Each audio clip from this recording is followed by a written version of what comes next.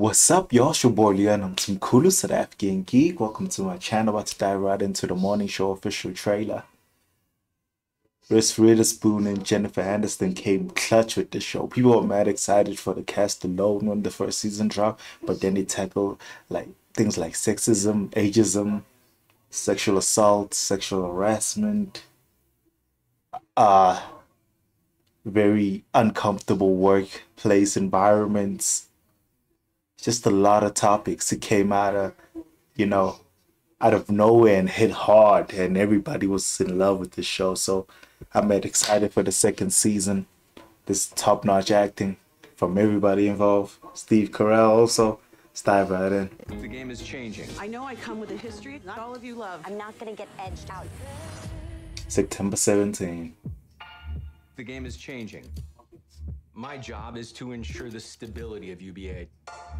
Alex, I need you to come back. You are the only thing that can save us. I don't think I've ever said that before. They want her back. I'm not gonna get edged out. She legit blew the whole place up, then dipped. They're bringing in my big sister to clean up my mess. Man, you couldn't have planned this any better. Stepping away when you did. I was broken, Doug. Yeah. This dude thinks it's all a strategy from her. Network needs to clean up its act. Five. Try and get ahead of this coronavirus thing. They dealing with COVID on top of that. Three. Don't forget, this is your show. And we're back. Two. I know I come with a history that not all of you love. One. Nine months ago, you opened a door, and you need to walk through it now.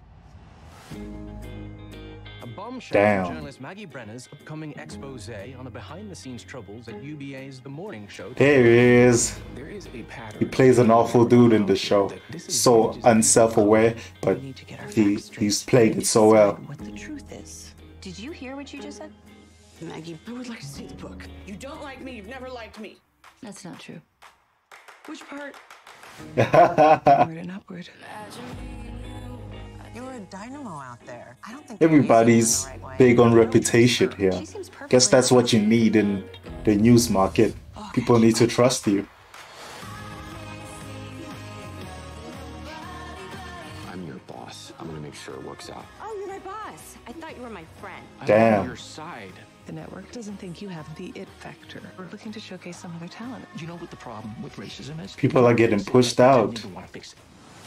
What I want is to change things because the jury's still out. Was that a white dude telling a black woman about racism? Happy days are here again. That's interesting. In case you forgot, I'm the whistleblower. I'm gonna get everything I want. Damn. So caught up in ruling over your rotten little fiefdom.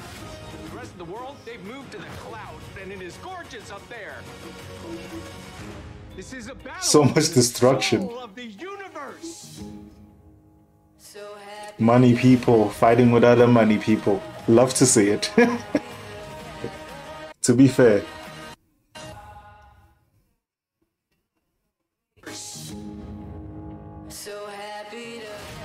To be fair, this trailer looks phenomenal. There's so many things you can pick apart from this trailer alone. Now they're gonna tackle racism, the coronavirus, status, reputation. Goddamn, man. I really like this show, man. You can tell by my excitement, but anyway, I got stuff to do, so hope you like my reactions. Subscribe if you're not subscribed. Deuces.